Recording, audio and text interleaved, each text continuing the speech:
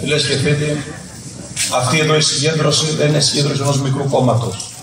Είναι συγκέντρωση ενός κόμματος που αναγεννάται και σε επόμενες βουλευτικές εκλογές θα έχει ένα ισχυρό διψήφιο ποσοστό απάντηση σε αυτού που το θέλουν από κόμμα δίπλα στη Νέα Δημοκρατία και το ΣΥΡΙΖΑ.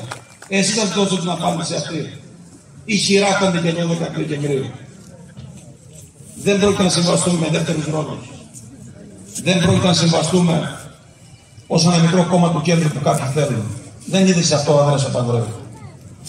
Ο Ανδρέας Παπανδρέου είδε ένα κόμμα το οποίο αγκάλιασε το προοδευτικό βενιζελικό κέντρο και την προοδευτική αμυκή αριστερά τα ένωσε, τα έκανε πολιτικό σχέδιο και άνοιξε τη μεταπολίτευση στην Ελλάδα μετά την εθνική τραγωδία της Κύπρου. Αυτό το κόμμα, το ιστορικό κόμμα, που τα χρόνια της κρίσης απομειώθηκε. Έχασε δυνάμεις, όπως και άλλα σοσιαλδημοκρατικά κόμματα της Ευρώπης. Μπορεί να ξαναπαίξει πρωταγωνιστικό ρόλο.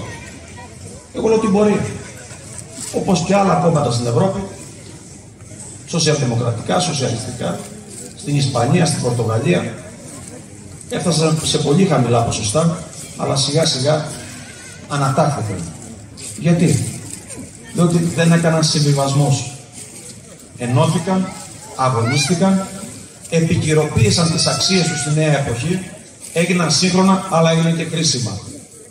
Εμείς λοιπόν πρέπει να έχουμε πηξίδα για το μέλλον, να είμαστε ένα πολύ χρήσιμο κόμμα για τον ελληνικό λαό και ιδιαίτερα για τους πιο ευάλωτους Έλληνες. Αυτούς που οι σημερινές κοινωνικές ανισότητες οδηγούν στο περιθώριο. Τα νέα παιδιά, τα οποία φεύγουν από την πατρίδα μας γιατί δεν βρίσκουν καλές δουλειές.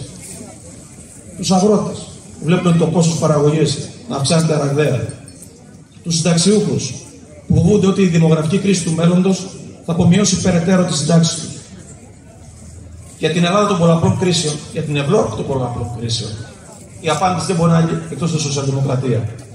Γιατί είναι η μόνη ιδεολογία που προτείνει μια ανθεκτική αηφόρο παραγωγική βάση, που χτίζει πολλές και καλές δουλειές για τους ευρωπαϊκούς πληθυσμούς, που δημιουργεί ένα ισχυρό κοινωνικό κράτος δημόσιας υγείας και δημόσιας παιδείας, που έχει πολιτικές για το περιβάλλον, που σέβεται την αλληλεγγύη ως αξία Ένωσης Ευρώπης.